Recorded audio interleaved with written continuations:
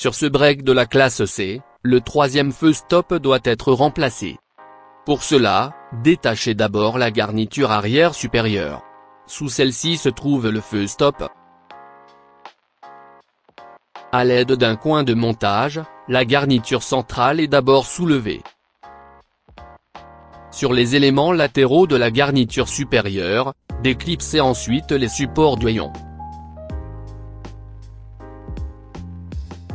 Saisir ensuite au centre et tirer la garniture vers soi. Il est ainsi possible d'enlever la garniture arrière supérieure. On peut procéder à la dépose du feu stop.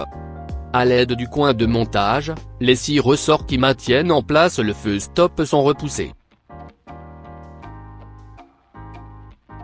Pendant ce temps-là, le feu stop lui-même peut déjà être repoussé avec précaution vers l'extérieur au niveau de la face intérieure du haillon. Le feu est à présent uniquement maintenu que par une durite d'eau et un connecteur électrique.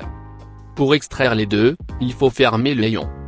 Tout le reste s'effectue maintenant de l'extérieur. Débranchez le connecteur électrique. Il est nécessaire d'utiliser une pince pour la durite d'eau. Poussez le collier de serrage vers l'arrière.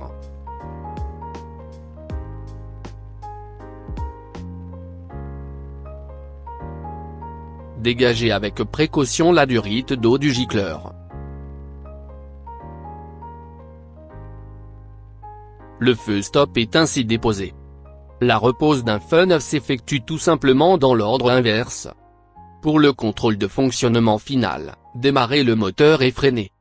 Le feu stop ainsi que le gicleur doivent maintenant à nouveau fonctionner.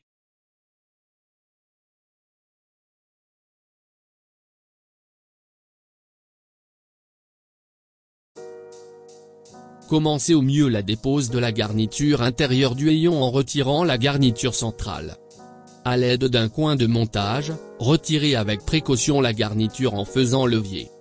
Ce faisant, recouvrir le coin de montage de rembourrage afin d'éviter tout risque d'endommagement de la garniture et du haillon. Détachez ensuite les clips sur le côté longitudinal de la garniture.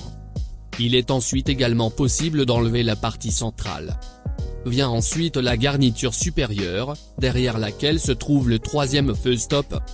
On a ainsi directement accès aux agrafes restantes permettant de déclipser la garniture arrière. Il reste encore la garniture inférieure.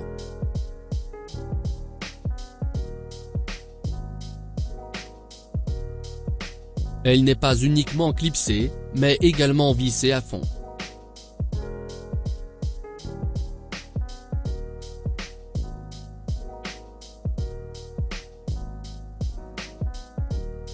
À l'aide du coin de montage, retirez d'abord le cache situé au niveau des poignées de maintien de la garniture. En dessous se trouvent 4 vis. Les 4 vis doivent être dévissées au moyen d'un tournevis. Dès que les vis sont enlevées, il est alors possible d'accéder aux agrafes. Les agrafes doivent également être déclipsées. La garniture inférieure est de ce fait assez souple pour permettre d'accéder au connecteur électrique des feux latéraux. Ils maintiennent encore la garniture et doivent maintenant aussi être retirés.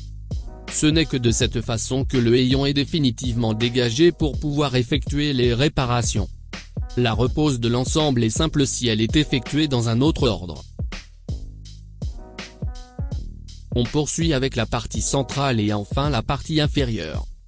De ce fait, il est ainsi possible de contrôler de manière plus précise la position des différentes garnitures sans qu'il y ait risque d'endommager les éléments de fixation.